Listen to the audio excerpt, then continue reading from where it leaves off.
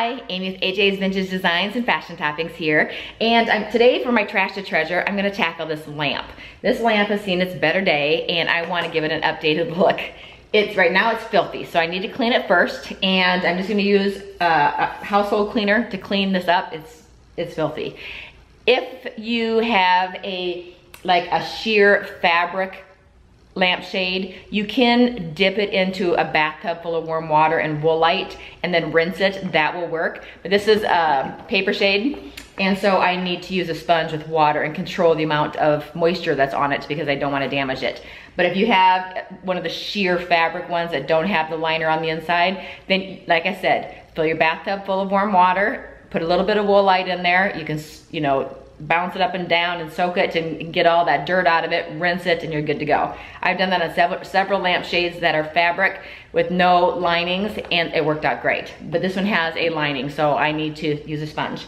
And right now, I'm just using just a little bit of warm water with a sponge to clean my lampshade, because I'm gonna be painting the lampshade. And so I don't wanna put any harsh chemicals on this because I don't want any of the chemicals being left in the weave of this. It's kind of like, um, kind of like burlap, but I don't want any of that cleaning product to get caught in any of the weaves of the burlap. So I'm just using warm water to clean it for now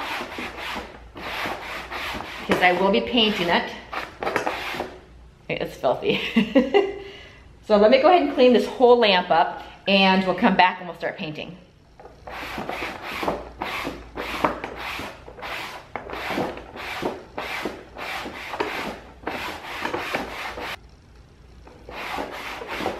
Okay, this lamp was filthy, dirty water. Okay, and you noticed, I don't know if you noticed or not, but when I was cleaning, I was cleaning in the downward motion, pulling the dirt, down one direction. That's how I was cleaning it. I lift up my sponge and I pull it down. Just pulling all the dirt down so I had the debris at the bottom and I can just clean it off. Okay, this I'm going to clean with a normal household cleaner. Okay, so I'm just gonna go ahead I'm gonna go ahead and spray this down with a household cleaner, get it nice and clean. It's filthy.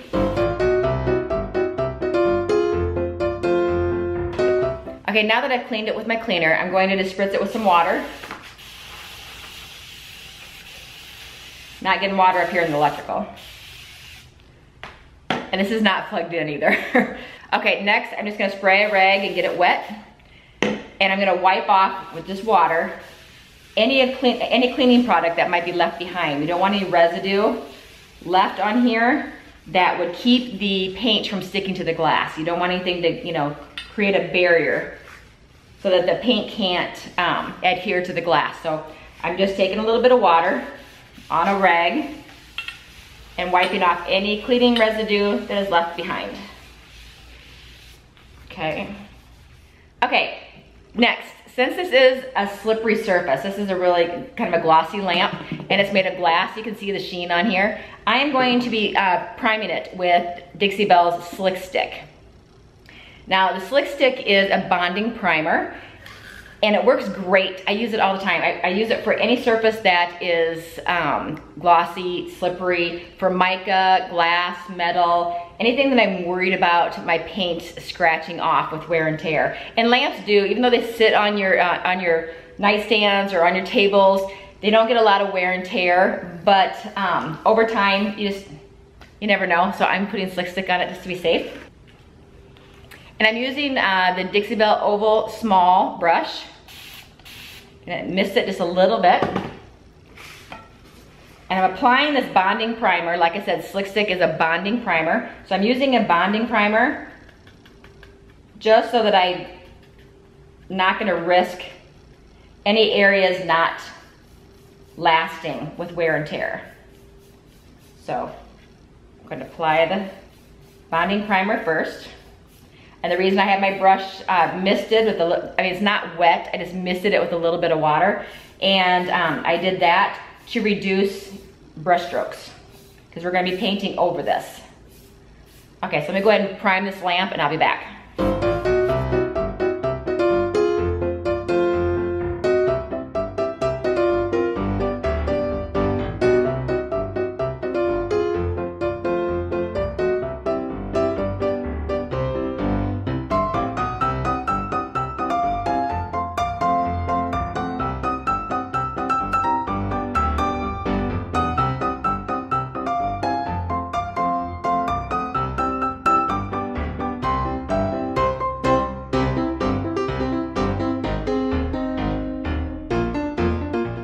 Okay, now that I got the primer on here, you see I did add some tape as well, um, just so that I could speed things up. I didn't have to be so careful around the electrical. I did um, put some painter's tape around where the cord goes into the base and some up here so that it just made it faster. I didn't have to worry about being so meticulous to get around here. But I do have one coat of the primer on here, the slick stick. I'm gonna let this dry and then we're gonna go ahead and pick colors. And I'm not going to prime my lampshade. That, that we're just going to tackle it right with paint because it's not a slippery surface. So we'll be doing the lampshade as well, but first we're gonna tackle this. Okay, so now let's go ahead and start on the lamp. I'm gonna be painting the lamp cotton. This is Dixie Belle's brightest white. Now you can use any color you want. I'm just choosing to start with the, the cotton, which is the brightest white, just to give it that crisp, clean look. So let's go and get started. You will need to have a misting bottle or a water bottle nearby. We're gonna mist the surface really well so it's damp. And the reason I'm doing that is because I want the paint to, let me get my brush wet too. I want the paint to be um, able to set in all these fibers because this is like a burlap. And if the paint is too thick, it's gonna get clumps in each one of the fibers. So I want it to be nice and thin. And so I'm going to, because this is like a this is like a fabric burlap material. And I'm kind of doing it in circular motions. And it goes on nicely because that area is damp. So the water kind of thins out the paint and lets it soak right into the fibers of the burlap. Now, if I wouldn't have gotten it wet, the paint would sit on top of the surface a little bit more and wouldn't, you know, soak in as well. So that's why we wet it down. It's like painting fabric. And we'll just keep misting as we go. If the paint does not soak into the weave, just get it wet again. Water is the key. And in circular motions, that works it into the fiber. See how nice and clean that's gonna look? Okay, so I'm gonna keep working around, wetting this that section. And you know you've wetted enough when you are going in circular motions if the paint is getting into the weave, the fibers of the of the lampshade. If it's not, let's see if I can zoom in. That's too bright white if you get speckling where it's not getting into the fibers, it's sitting on top, but you have like a lot of speckling that shows it's not getting down the fibers, then you just wanna mist that area. That means there's not enough water on that area. Dip your paintbrush again and keep working. Circular motions, working it into the fibers. And I'm gonna work, I'm gonna do this all the way around the lampshade, spraying with water, and then adding the paint in circular motions. It might take more than one coat, depending on the shape and um, you know the, the weave on the fabric that's on your lampshade and the color that you're trying to cover. So let me go ahead and let's get this all covered. We'll come back and I'll tell you what's next.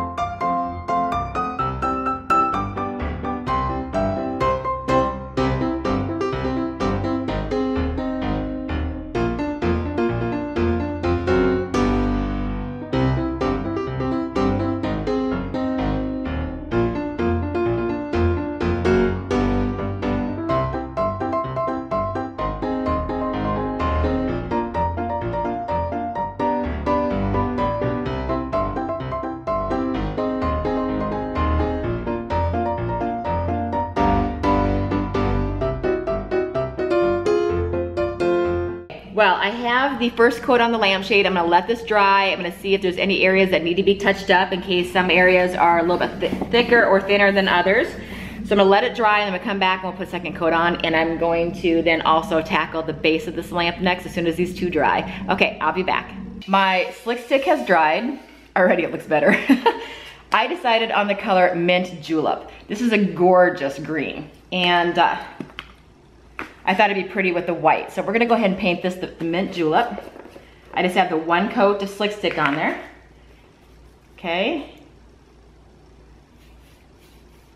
Oh, that's gonna be a gorgeous color. Look how easy it is to update a lamp. Right now my lampshade is drying with my first coat of the cotton on it. And now adding the mint julep.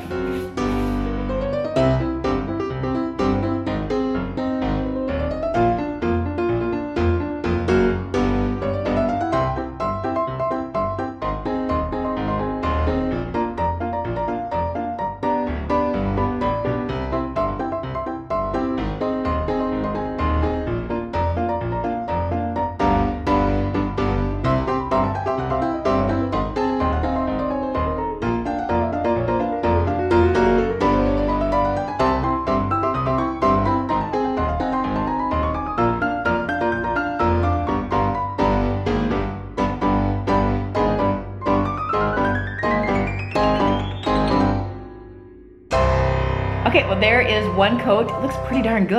I might not even need a second coat. I'm gonna let this dry and see how it looks, and then we're gonna go and tackle the rest of the lampshade.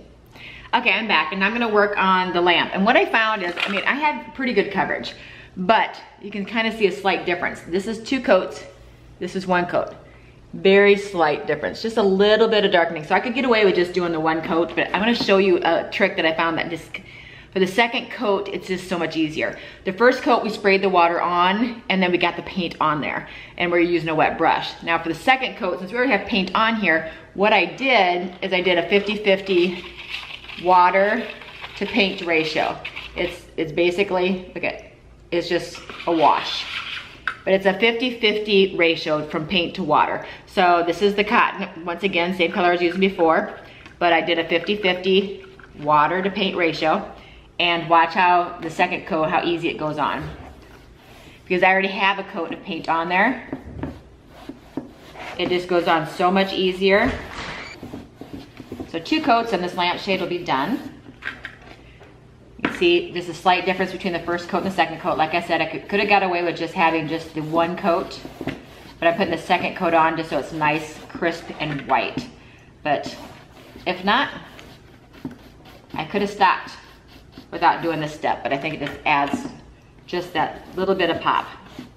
Okay, I'm gonna finish this up and then we're gonna start decorating the base and this lampshade. We're gonna try to do something special with it. Okay, I'll be back. Here's how it looks so far, but it still needs a little bit of pop of color.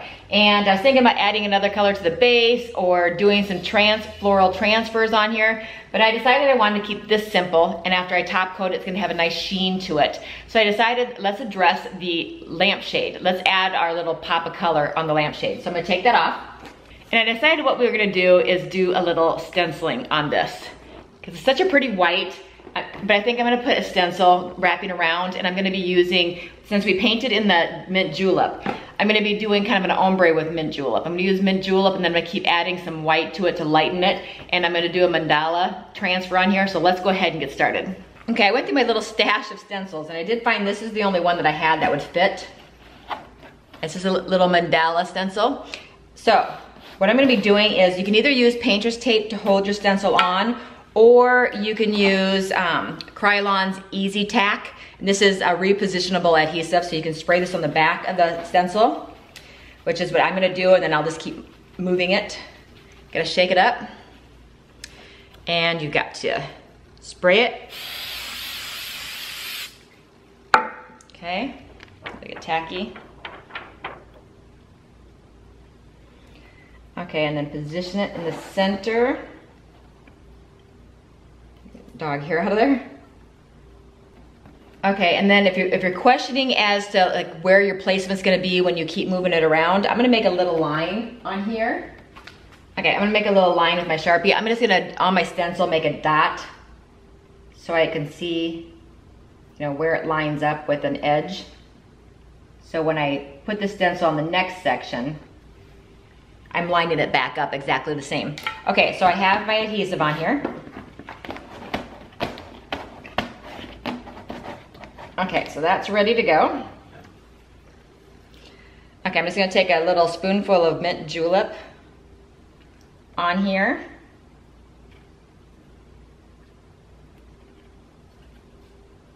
Okay. Okay, and then I'm adding a little bit of white. And this white is not the same white I use in the shade. This is a little bit um, darker of a white. It's called drop cloth. And I'm, I'm just doing that so it shows up a little bit better on the pure white here. But you can use the same white because we'll be mixing. You'll see in here in just a second. Okay, so I have my two colors on here. I've got the mint julep and then I have white. And what I'm gonna do is I'm just going to mix them together. I'm gonna start off with just the mint julep by itself. And I'm going to just, I put my hand in here so I can make it stiff. Just gonna pounce with my little rubber pouncer. Randomly And use very little paint because you can always go over with more paint. If you put too much on, it'll start bleeding underneath. I put my hand inside to make it firm. I'm just getting it in the darkest color, which is the mint julep by itself. I'm just getting that on first. Kind of putting it around randomly.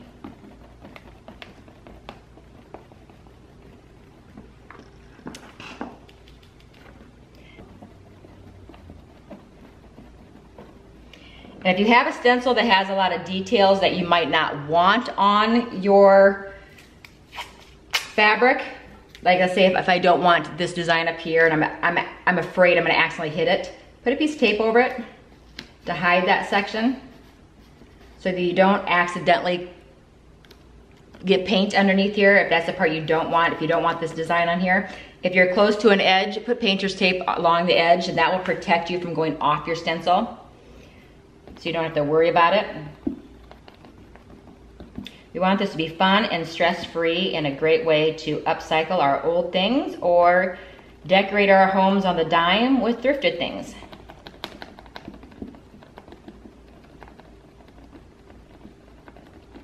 Okay.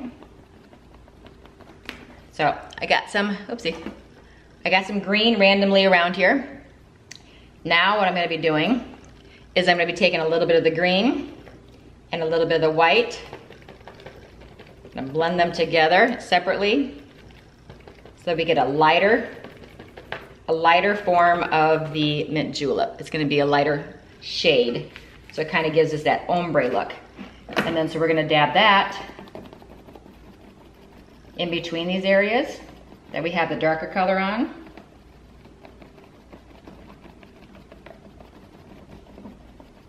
And you can incorporate more colors if you want to add like, you know, blues and greens and just make it all sorts of colors. I've done that and that turns out beautiful, very tie-dye looking. Okay.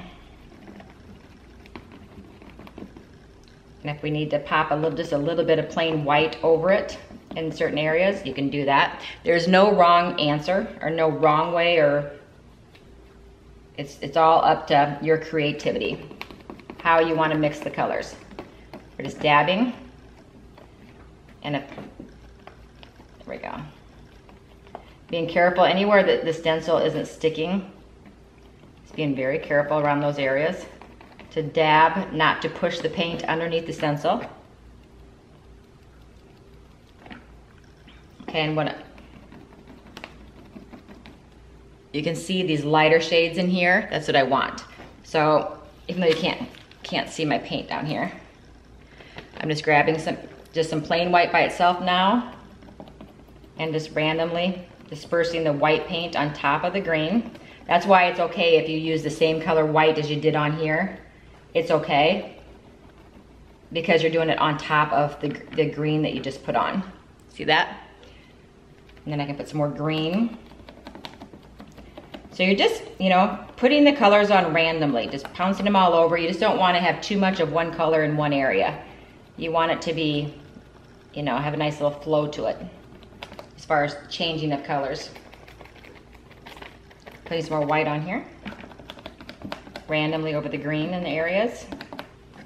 Then some more green.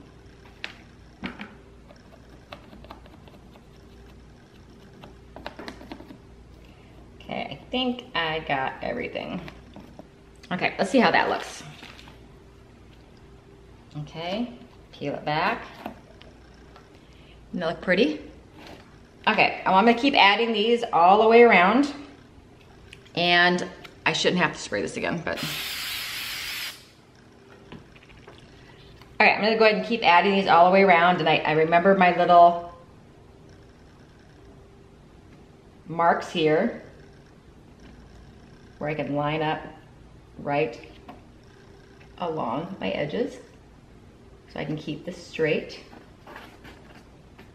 Okay. I'm gonna keep going all the way around here and then I'll be back when I'm done.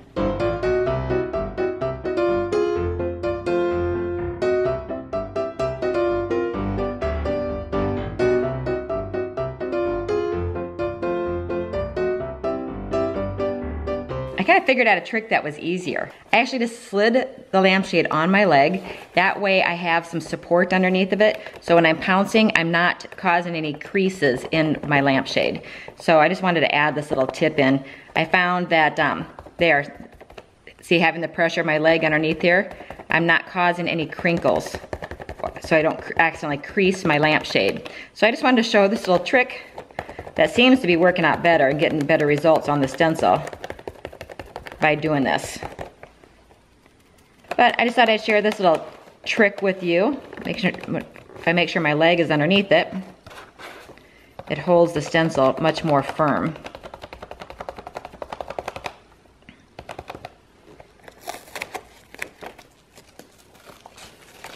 Okay, I think the last thing, I'm not gonna do anything to, to, here. I think the last thing I'm gonna do, and then it'll be all finished up, is I'm just going to paint a little stripe with a little craft brush just rubbing it into the fabric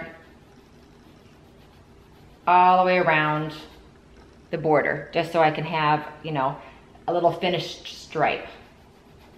So I'm just gonna do this. Using a little craft brush, just rubbing it all along the edge here. And it's kind of like a raised little ribbon that's already on here, so it's easy. I don't have to do any taping off. Just painting that little stripe all the way around. Okay, I'm gonna finish this all up and I'm gonna be at the end and I'll show you how it turns out and get it staged. I think it's adorable and it was so fun and easy.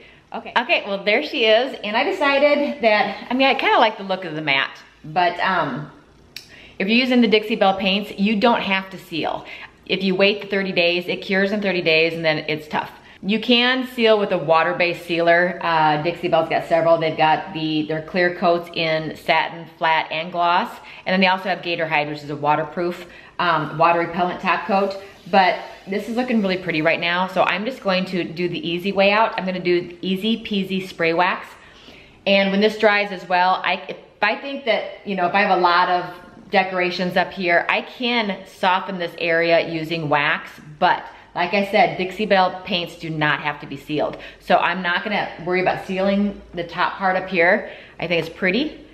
And I'm just gonna go ahead and leave it like that. I am gonna add some spray wax on here just for a little bit of sheen. I don't want a lot of sheen, but just a little bit of sheen. So with the Easy Peasy spray wax, you shake it up and it's simply, you just spray it on. And if you ever want to update like if it starts to look a little dull over time, you just spray more on it and buff. I just, you can see I sprayed it all over so it's nice and wet. Letting it soak in. Now you wouldn't want to do this step until your paint is completely dried. Now I painted this yesterday, so it, I'm, I'm good to go with the clear wax today. But I'm letting it soak in for a little bit, and then I'm gonna take a little sock, put it on my hand, a lint-free sock, preferably white, so that you don't have any dyes or anything that could, you know, dye and bleed onto your piece. And then I'll just rub it off.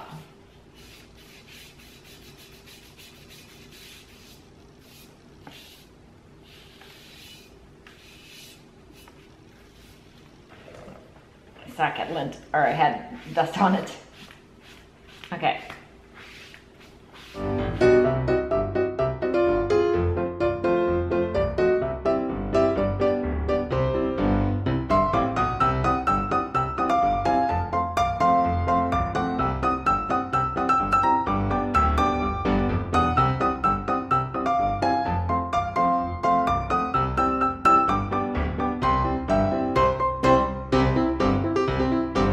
Okay, well there you go. I sealed it with the Easy Peasy spray wax because it dries in 30 minutes and it cures in six hours, so that's what I like about it. But if you wanted uh, even more protection than a wax, you can put a clear coat on it like Dixie Belle's top coats. They're clear coats in satin, flat, or gloss. Um, but today I just chose to use the Easy Peasy Spray Wax. Uh, one tip is that if your paint isn't going on very smooth, wet it add more water to it so that it's thinner and it can be absorbed by the fabric. So water is the key. So if you think it's going on kind of dry, add some water to it. And there you go. I love how it turned out.